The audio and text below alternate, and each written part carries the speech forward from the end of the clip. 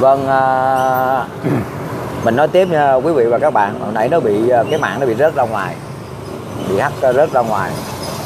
Vâng tức là những cái à, báo đài ở bên đó và kể cả những cái cái, cái những cái người mà mà đưa thông tin lên trên cái cái cái cái cái cái, cái, cái, cái mạng mà mà mà Facebook nè cộng đồng mạng nè thì như các bạn cũng thấy rồi đó nếu mà lên mà nói về đất nước Việt Nam đẹp thế này đẹp thế kia là lập tức bị ném đá liền bị cho là bưng bô cho cộng sản cánh tay nối dài cho nghị quyết 36 đồ lung tung hết trơn. Đó điển hình mới nhất là mình thấy chị Ly Sa Vũ chị ở bên uh, úc chị lên chị nói chị thấy đất nước Việt Nam mình như thế nào thì chị nói thôi. Chào bạn Trần Hậu Nam à bạn có thể chia sẻ cho mình à, để cho tới tay thằng à, bạn à, ai quy Nguyễn đi ạ.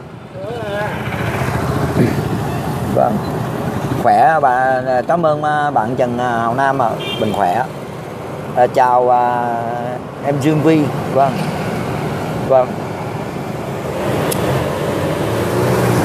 Thì à, thì những cái báo đài ở bên đó cũng giống như là những cái người dân người ta muốn cất lên tiếng nói thì à, là bị à, lập tức là bị à, bị ném đá nè.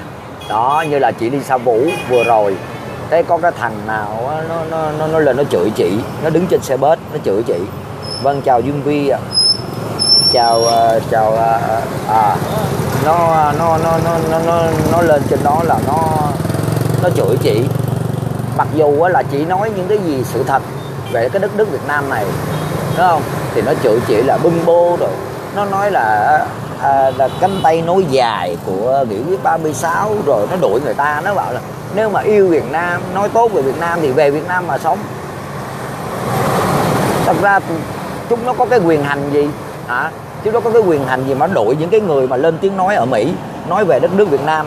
Thì họ cũng nói theo cái cái tự do ngôn luận của họ thôi. Họ thấy đẹp họ thấy tốt thì họ nói. Đúng không? Cái đó là cái quyền tự do ngôn luận. Thế tại sao mà tụi nó nói rằng là ở bên đó là có quyền tự do ngôn luận, muốn chửi gì thì chửi, muốn nói gì thì nói.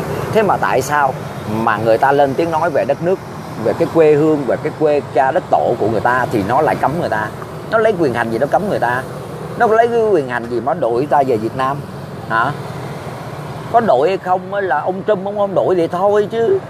Đó bây giờ mình à, hỏi nè mấy cái người à, mấy cái bọn mà những cái người mà chống trọng cực đoan đó. Những cái người mà chống cộng cực đoan ở bên đó nè mình hỏi nè nha mình hỏi một câu nha mà mình ước gì có ai quy quyển đây mình hỏi. Vậy ông Chung ông về Việt Nam vậy là ông là cánh tay nối dài của nghị quyết 36 hả? À, thì tại sao mà không tẩy chay ông đi? Đúng không? Tại sao mà không lên tiếng uh, tiếng mà mà biểu tình chống ông đi? Mà ông đi sang những cái nước mà cộng sản chùm luôn như là nga nè như là trung quốc nè. Vừa rồi ông sang trung quốc luôn. Để tại sao mà đó ông là cánh tay nối dài của nghị quyết 36 nối lại cộng sản với lại uh, với lại mỹ đó? Thì tại sao mà mọi người không tẩy chay ông? Xuống biểu tình tiểu chay ông đi. Lên tòa bạch ốc á, nhà trắng á đứng ờ, dơ dơ cao ờ, cờ cờ cờ, cờ vàng ba sọc đỏ lên là tẩy chay ông chum. Khi nào các bạn làm được cái chuyện đó thì các bạn mới nên nói người ta. Đúng không? Còn các bạn không làm được cái gì hết trơn. Đúng không? Các bạn chẳng có làm được cái gì hết. Chỉ có lên ngồi cào bàn phím rồi vào những cái diễn đàn người ta tuyên truyền quậy phá nói này nói nọ nói toàn là cái chuyện tàu lao mới lao không? Xuyên tạc, nói không, nói vô tội vạ, nói không có cơ sở nó không có căn cứ luôn. Chỉ có đọc ba cái tờ báo, bố láo, bố léo ở bên đó. Xong rồi là đi lên là tuyên truyền thôi. Không biết gì về cái đất nước Việt Nam mình. Đất nước Việt Nam này mà cứ vậy là nói nói cho sướng cái miệng, nhất là cái con biến thái Lisa Phạm. Nói cho biết sướng cái miệng, nói cho hết giờ để lãnh tiền. Ví dụ như mình không có công ăn việc làm ổn định thì mình đi bên Mỹ thiếu cha gì việc làm? Hay là hay là ăn chơi nó quen rồi chây lười lao động quen rồi? Đó như là Tân Thái nè đó Penny Trương nè lên nói quyên thuyên không có hiểu mình đang nói cái gì luôn. Cho nên á những cái tay mà chống cộng cực đoan ở bên đó đó, đó các người á trước khi lên nói mình nói xong mà bắt đầu mình chịu khó mình review lại mình nghe lại coi mình đã nói những gì đúng không? Mình đã nói những gì? Chứ mình không review lại, mình không nghe, mình không theo dõi coi mình đã nói cái gì trong cái diễn đàn ngày hôm nay. Đúng không? Là, hoặc là mình coi lại những cái comment ở dưới để xem, coi xem là nó có cái gì. Mình phải duyệt lại chứ. Nhưng mỗi lần mà tôi lệnh like là tôi đều coi lại những gì tôi nói tôi nghe lại hết á. Tôi là cái người vô học à, vô học nhất trong nước Việt Nam này luôn á. Tôi chỉ nói theo cái ý của tôi thôi à, tôi nghĩ sao? Tôi nói vậy chứ tôi không có văn chương chữ nghĩa vậy chứ à, nhưng mà tôi thích nói chuyện với những người có văn chương. Bởi vì những cái người có văn chương á tôi không phải qua đũa cả nắm nha. Tôi chỉ nói là những cái tay mà chống cộng cực đoan ở bên đó đó mà tỏ ra mình có văn chương có chữ nghĩa mà họ nói chuyện giống như là họ nói chuyện trên mây không à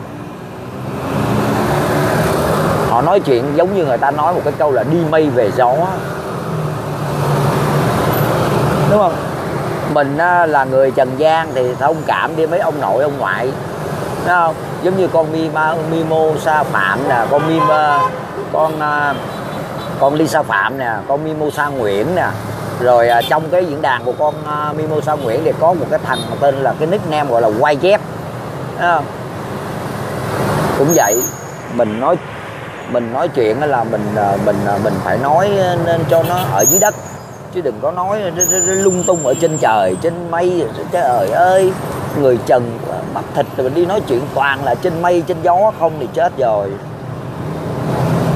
Đó thì có vài lời tâm sự với uh, quý vị và các bạn. Bây giờ tự nhiên mình phải uh, có công việc mình đi có người kêu rồi. Thì uh, mình cũng chờ bạn ai quy nguyễn nhưng mà thôi để dịp khác đi ha. Rồi có gì rồi mình uh, mình sẽ gặp lại quý vị và các bạn sau. Thấy không?